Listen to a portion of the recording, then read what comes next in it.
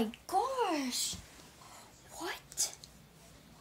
What the heck? I, I can't even believe that. So the statue was the one? It, it was alive? I can't believe, how did Orca do that? Whoa. My gosh. Okay, I gotta flip the page. Wow, okay, but wait, what's happening? Wait, what's up, Cinnabop? Wow, like, did you believe, do you believe this, um, the statue came to life and now it's trying to attack Tsunami? Yeah, Cinnapop, I read that book. I know, I know, but, but it's like cool. I know, but I mean, I am on book five. Yeah, yeah.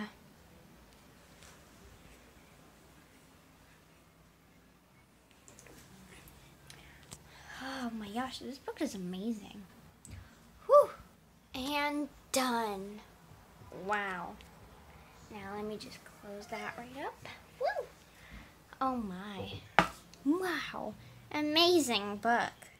Yeah, I love Wings of Fire nightclubs. They're the best. I know, I know. I wish Wings of Fire was real.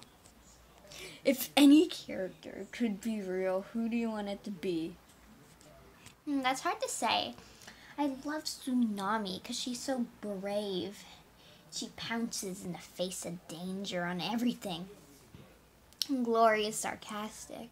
Sunny is funny, shy, calm, and sometimes a little bit silly. Starflight, he is really an egghead. And Clay, he's just really big and stuff. Clay's kind of like you, Cinnapop. What's that supposed to mean? But overall, I think I would like Tsunami.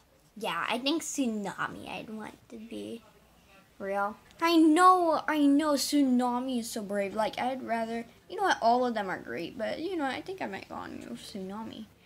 I wish. I wish That's Tsunami. that Tsunami were Were real. Real.